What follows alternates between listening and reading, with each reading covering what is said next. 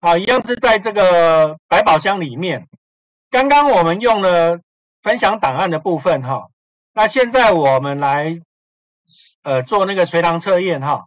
那请你点呃点开随堂测验之后，一样老师可以在这里布题哈。啊，今天谁最帅？啊，就问学生哈。那学生呢，你就可以在刚刚的这个这个功能里面。请你选随堂测验这个功能。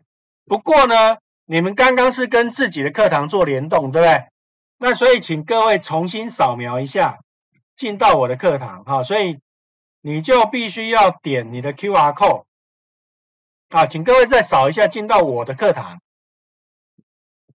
好，进到我的课堂，我们在我的课堂上做练习哈。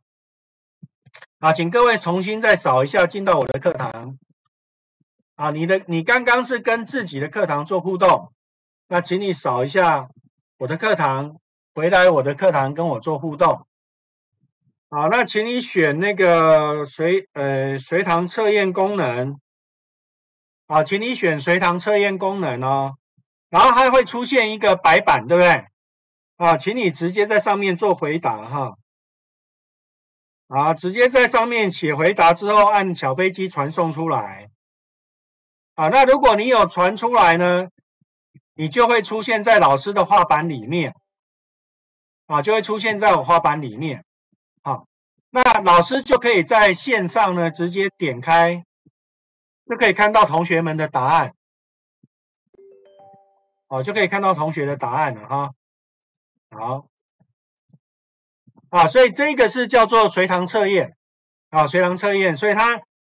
使用的是画板的功能哦，画板的功能。那当然，这个画板上面也可以去做绘图的功能哈。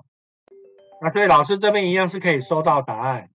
所以这个是线上远端手写板小白板的功能哦，是这样子用的。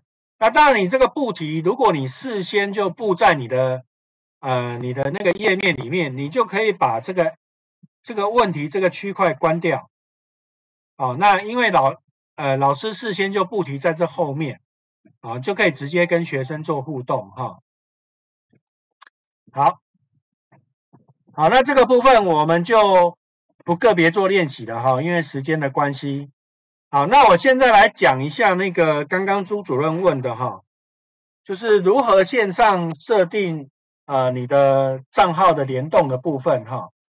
好，那这个我们我就先把这个白板缩小。啊，你的账号如何做联动？哈，首先要麻烦各位把你的浏览器打开，好，请各位直接进 MyViewBoard 的网站，哈。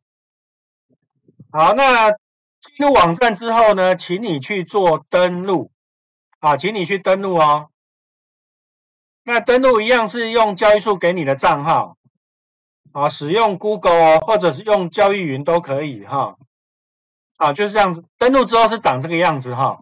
右手边会出现你的那个代号的名称。那等一下，如果你不喜欢这个名字，也可以换，哈，也可以换。然后左边就会出，左下角就会出现这些功能哈。那这个我们等一下会用到哈，你先不要管它。啊，在你的账号这边呢，请你点一下，你会发现这里有一些设定可以改哈。那这里面我们会会用到两个地方，一个叫 Follow Me，一个叫编辑账户。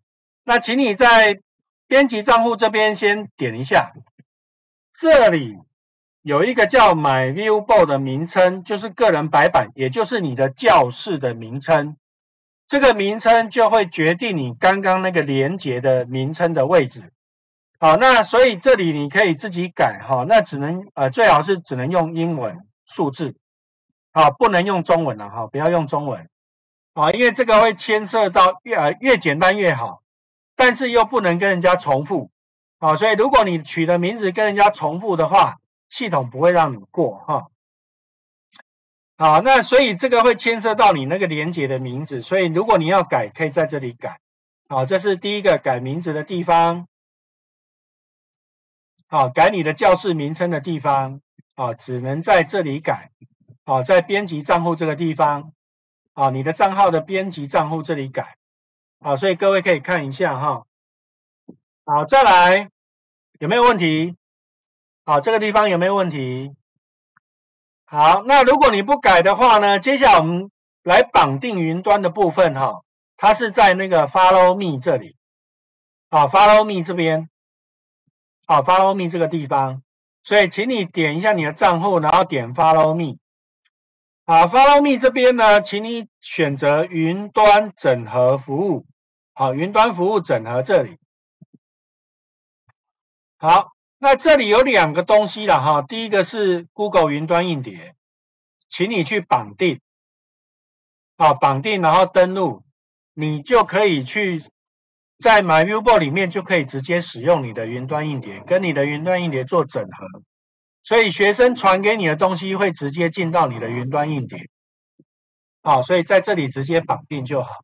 那另外，如果你常常有在用 Classroom 的话，你也可以把这个地方去做绑定，那你刚刚那个教室的连接就会直接出现在你的 Classroom 里面的那个消息的那个地方。